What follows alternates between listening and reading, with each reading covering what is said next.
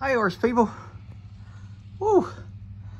It's uh 96 out here. I got this pasture cut this morning. That high school kid came over. I gave him an extra 50 bucks. He did a pretty good job. Good little worker. It was his birthday. It was pretty funny. He came over and I saw two cars coming up. And uh, I was like, shit, I hope that kid didn't bring his girlfriend shit. I'm going to have to go out there and tell him, hey, you're here to work, not to be trying to pick up your girl. And so uh, I see the car talking to him. I see it drive away and then I see it come back and I went, that's kind of odd. So I drive down there. it's his mom. she she was being such a damn mom. That kid was so embarrassed. He's like, I told her not to come, but you know, she just keeps, I go, that's all right, dude. I go, don't worry about it. I go, she's just being a mom, man. She can't help it, shit. so he had just, just graduated, turned 18, said he's moving out of the house in two months. He didn't say that in front of his mom. I don't know if she knows. Hopefully she won't see this video. I didn't even tell him I did video, so unless he knows, he didn't say anything, so I'm thinking he doesn't know. But he cut the pasture, he did a pretty good job. Um, I went in and hand cut inside those little things. Um, but now some good green grass can uh, grow. And I just got finished walking down this damn driveway in 96 degrees. I'm sweating my ass off. Holy shit. Uh, and I'm only in my t-shirt and underwear. I mean, I say my underwear, but they're really like shorts. Come on. Is this underwear is this shorts? Come on, this is shorts. So anyway, um, let me show you Moki in here. He's pretty funny.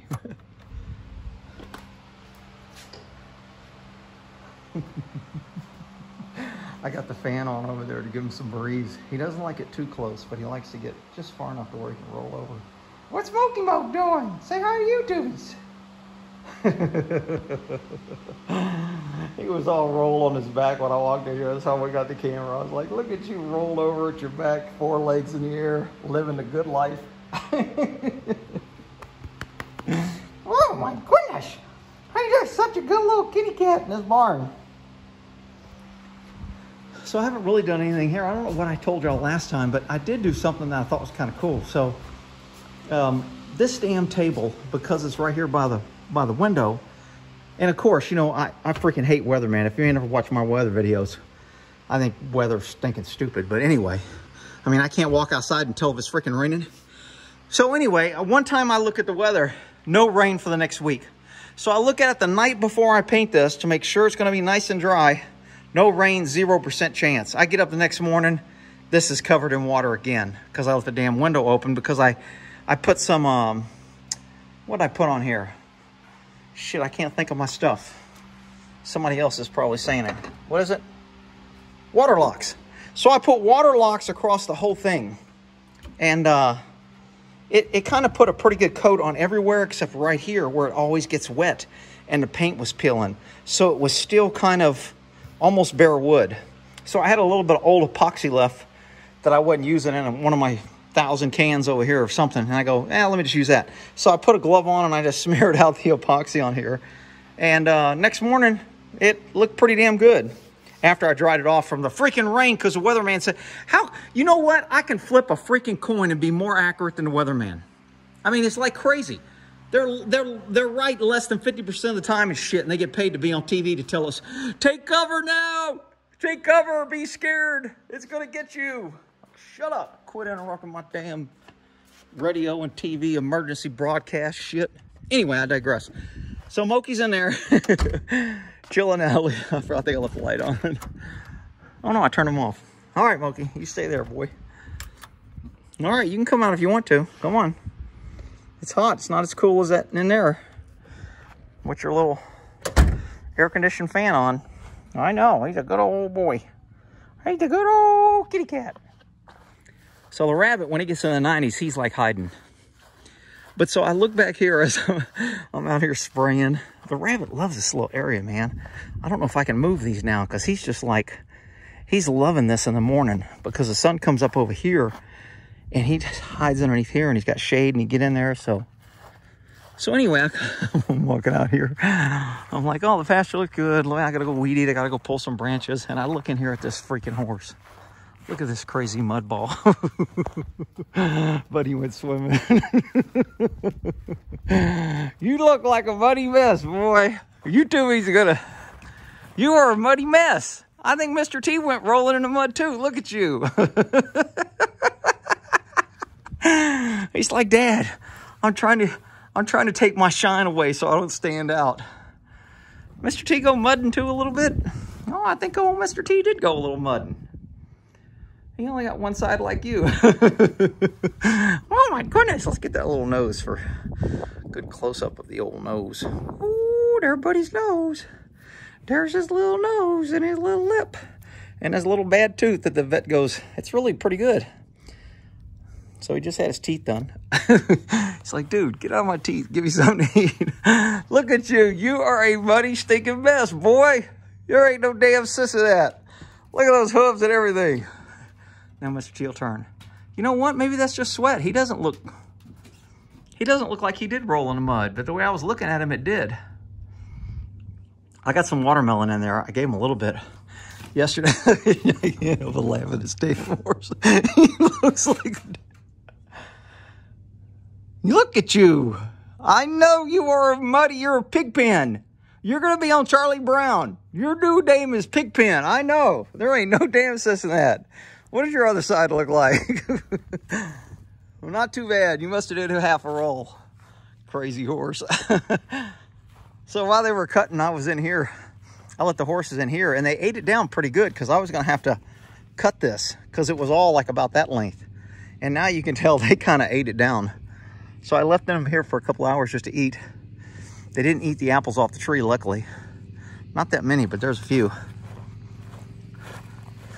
Yeah, there's a couple. And there's one.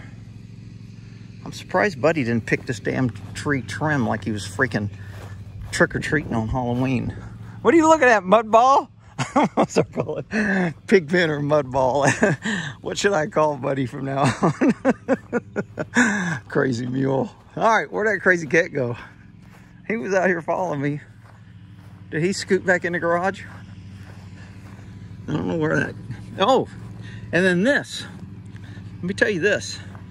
Hopefully y'all saw that I cut down that tree that Moki used to stand on. He didn't, uh, he hadn't been on it a long time. I got it in the garage.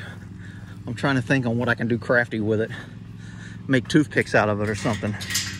So I picked this up at Home Depot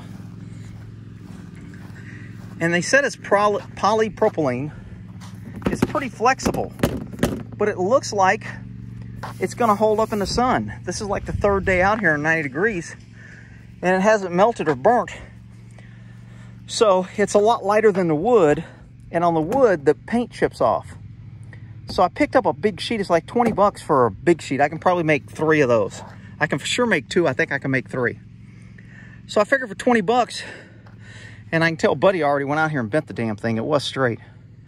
Rick, how do you know it was Buddy? Because I know. I just freaking know. So, uh, I love it when a pasture's nicely cut. Now they can go out there and lay. And you know, when, it, when the pasture's long, it doesn't let the good grass grow. It has a lot of weeds and long grass. Then the sun can't get to the good grass. So this will this will help the good grass grow. It'll get rid of the bugs. Got a few figs coming in. A little figgies there. A couple little figgies there. Um, and then my peach tree, hell, half of those peaches are gone. Where's that crazy monkey cat? He was out here two seconds ago.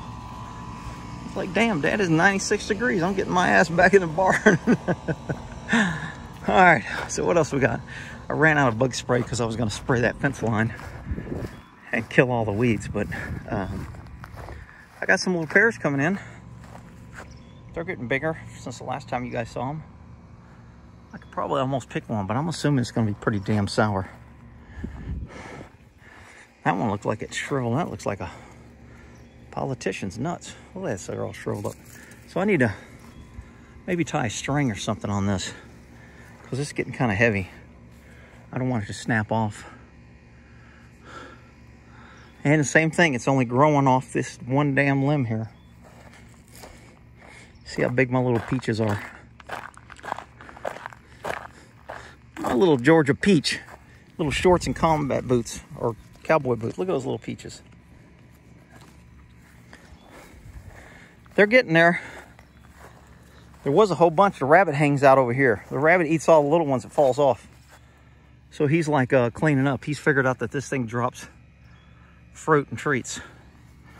So in the morning, I see his butt over here. Oh, there's like three right there. Somebody's gonna yell at me. Rick, you should pinch two of those off. I know. There's like four right there. Woo. Come on, little peaches. There's some up there. So, and this guy, I think, is a another peach tree, but he doesn't. Oh shit! I think I do have one. Look at those. That looks like a damn apple. Maybe it ain't a peach. No wonder it ain't been producing peaches. It's a freaking apple tree. That looks like a damn apple. Is that an apple? it's a damn apple tree. damn peach tree switched on me. Freaking doesn't even know what damn bathroom to use and shit. Now I got my trees changing sexes and tra tra changing things in the middle of this social justice crap. All right, well, anyway, pasture looks good. Now I got to cut this grass because this looks like it's cutting again. And uh, find that crazy cat wherever he went. There he is. Hey, get out of there. I just sprayed freaking poison. Damn it. Get out of there. You're to be in big trouble. Get, don't, get, you're in big trouble. Somebody, Rick, he didn't know. He does know. He watches me spray that shit and then he goes and rolls in it. Rick, you shouldn't use poison because he, shut up. I got to kill all these damn weeds. They grow out of control and shit. Rick, you should make your own. Be quiet. I don't need all your damn advice telling me how I'm doing everything damn wrong. I do have to change. There goes the horses. There goes Buddy. What's Dad yelling about? oh, I yelled at Moki. And they're like, oh, shit. We're next. We better get the hell out of here. you guys ain't in trouble. Moki was in trouble. He was rolling in the poison. I haven't seen Mr. TP since he had his teeth cleaned. I see him acting like he's got to pee, but I cannot catch him freaking peeing. I wonder if the camera picked him up where he was actually peeing.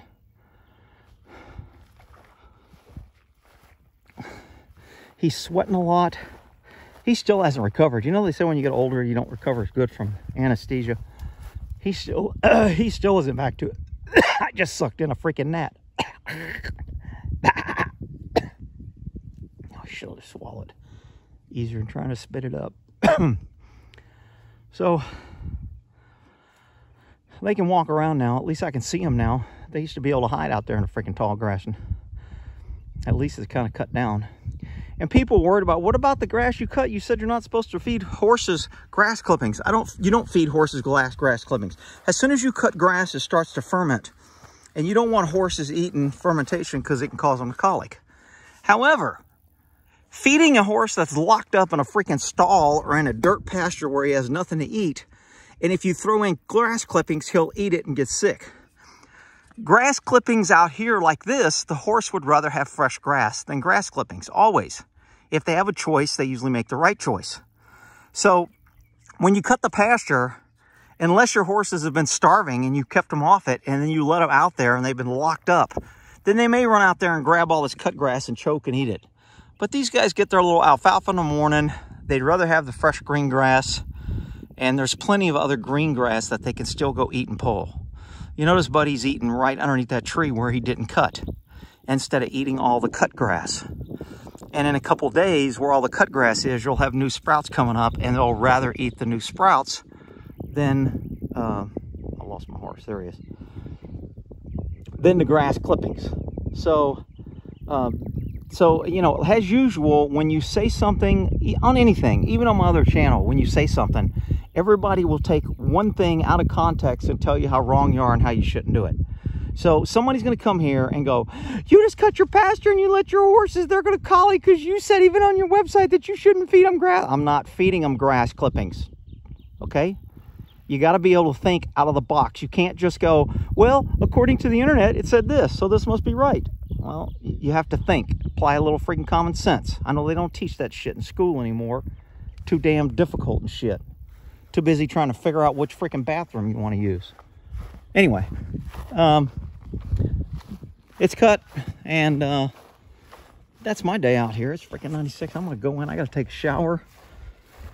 I did a little hand cutting with my little push lawnmower on those, um, my other things.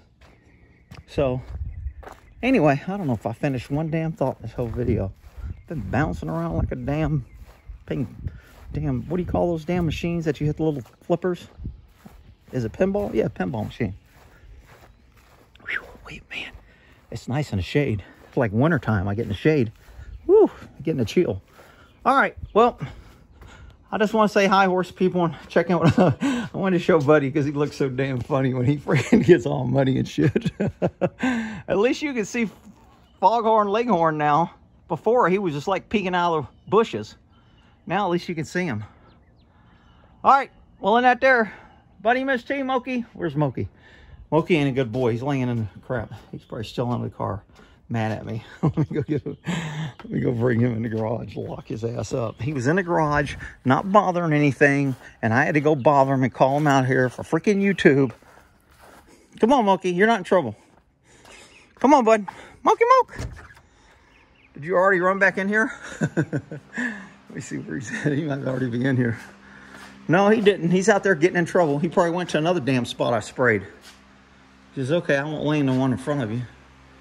Where's that crazy? Mokey Moke, come here, boy. Meow, meow. Shake his food. Sometimes that gets him. Mokey Moke! It's too hot, so he really doesn't like to eat, so the food shaking doesn't work. Anyway, he's mad at me. See how he pouts? Normally, he'd be right up my butt because I yelled at him. He ain't talking to me. If I left my window open, he probably climbed in the truck and pissed all over it. Oh, there he is. Dad was just talking smack about you. Hi, Mokey Moke. Come on in the garage out of here so you don't get in trouble. You got fresh water and food. No, I know. Nobody has to get in trouble. I know. I came out here because I put this, uh, let me get to another thing story.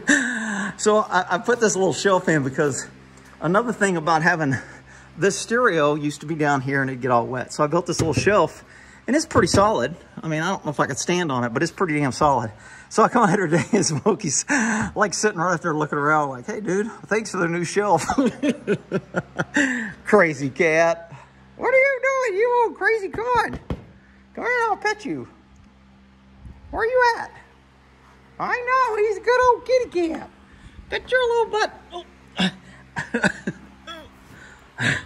All right, scratch. Scratch for you YouTubies. Scratch. good boy. Woo! Oh my goodness. He's a good boy. Wow, I know it felt so good. Oh my goodness, he's a good boy. He's been getting a little bitty drainage out of this eye for about two weeks now. Um, and it's only this eye. I was thinking it was infection, it spread the other eye.